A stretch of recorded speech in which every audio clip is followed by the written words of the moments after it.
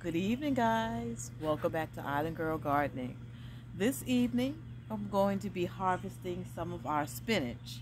Um, we've already uh, harvested out of here one time, but now it is time to gather some more. So, um, just going to kind of go in. Just gonna clip the leaves. Going for the bigger leaves right now, the ones that are on the outside. Because if you look and see leaves growing on the inside here, you let those come in. So you take the ones on the outer.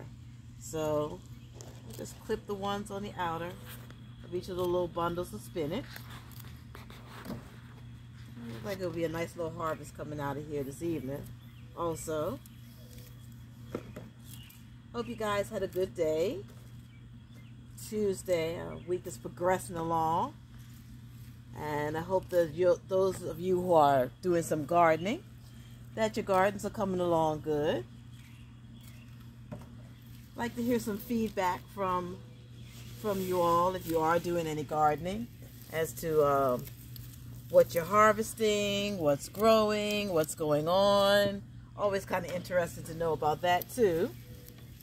This is not just about us, but us together gardening, learning from each other, growing, succeeding at growing our own food. So, what kind of spinach you growing? I do not know what type of spinach this is. This is spinach. Um, yeah. The giant noble. Okay. He knew what kind of spinach it was, but I did not. I was unaware of what type of spinach this was. It is giant noble spinach. Um, I guess that's why the leaves are so big. They get kind of big. But um, yeah, as you can see, there's a lot of big leaves in here. See, he had a trick question. The young man behind the camera tonight because he planted the spinach, but I did not know what kind it was. I knew it was spinach. I didn't know what kind it was. But nonetheless, we're going to get some spinach up out of here.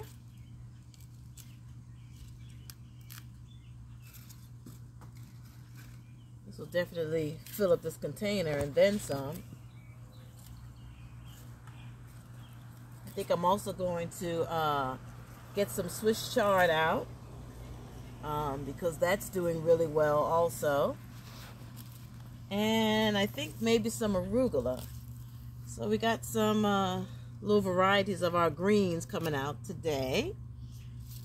And some good fresh greens for salads and other little dishes you might want to make with uh, your spinach and your Swiss chard. Um, so I'm just going to clip some more of my spinach. I can really clip a lot of it because it's quite a bit in here to clip. It is really growing wild, but that's good. This is good stuff right here. Love spinach.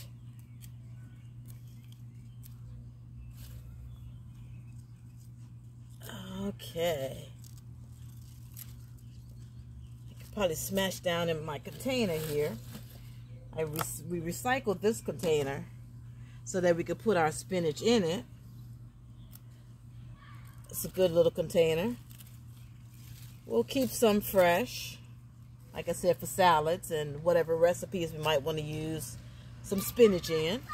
And then we could also freeze some. The first bit of uh, spinach that I harvested, um, that we harvested, I did freeze some of it. And it makes for a good little it freezes well. And um, and it still cooks up well once you have unfrozen it. Wouldn't necessarily use it for I would not use it for a salad. I would only use this fresh. But frozen you know you can use that in your recipes when you cook it Alrighty.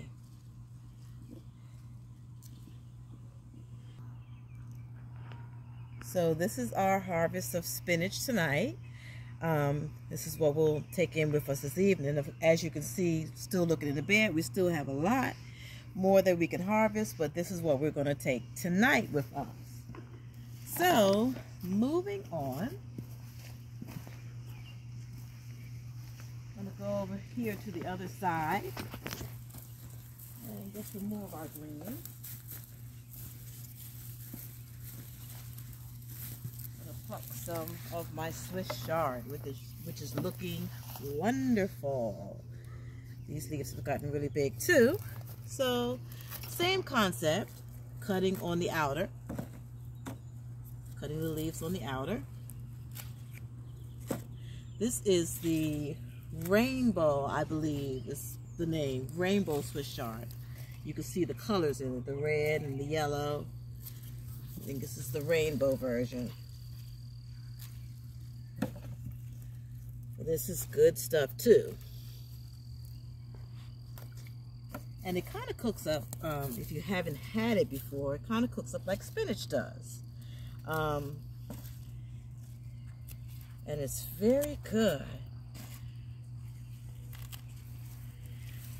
Or you can use them fresh like this and make you a good salad. These leaves feel really, really good. It's gonna make a good salad. Okay. Got some leaves thrown from the other side from uh, the man behind the camera. Guess he's uh he's helping me to uh, pluck some leaves here. Some of our greens from behind the camera. So he's multitasking this evening.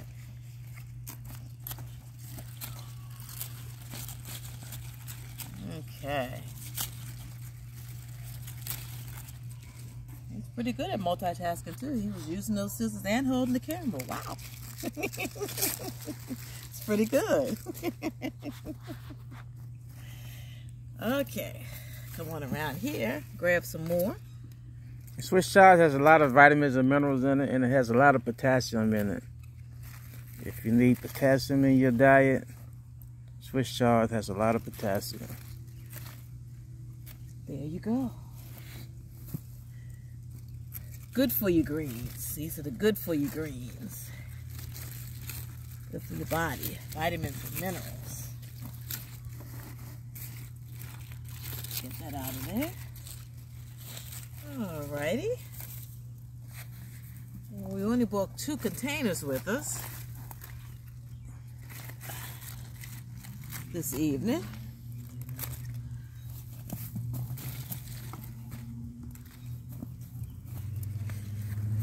And both of our containers are full of greens.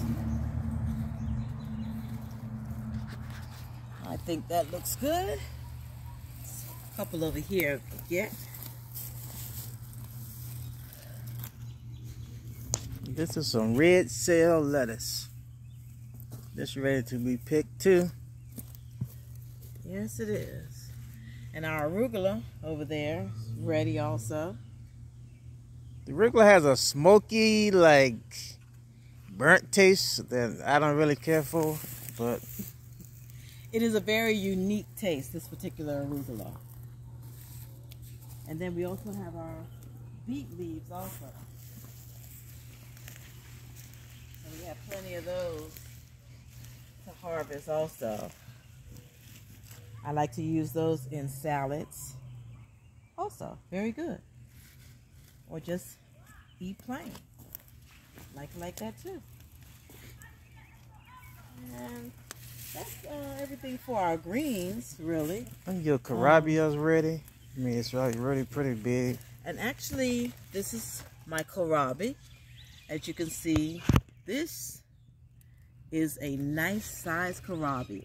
And I was just recently reading that the kohlrabi leaves, you can also use those as a green. So I have to do a little more research on that. I'm to clip a couple of those and see what I can do actually with the kohlrabi leaves. Cook them, eat them, and how you eat them and all that good stuff. But I'll be harvesting Put them in the your kohlrabi um, probably at the end of the week And what I'm going to do is I'm going to do from the garden to the table. So I'm actually going to prepare the kohlrabi after I pick it. So that'll be a new segment um, that we'll be doing on our channel also, from the garden to the table. All right, guys, well, that's it for this evening right now. Um, as my cameraman moves on and I um, go to the side, he's looking at tomatoes right now. Our tomatoes are starting to come in. Those are our blue cream um, tomatoes that you're looking at right now. Um, we got Romas there in the middle. We got some money makers coming in. Black Beauty, Indigo Rose. So our tomatoes are starting to come in nicely too. So we're excited about the garden and everything that's going on. And actually the corn looks like it's starting to um, get some sprouts in it. So that might be um, our next exciting thing that's going to be going on. Our corn is going to be coming in. So everything's looking good. Everything's doing good. God has blessed um, the harvest so far. And um, we're looking forward to doing more gardening and hanging out with you guys. Thanks for watching. Um, like and subscribe to Island Girl Gardening. Have a blessed rest, rest of your week. Bye.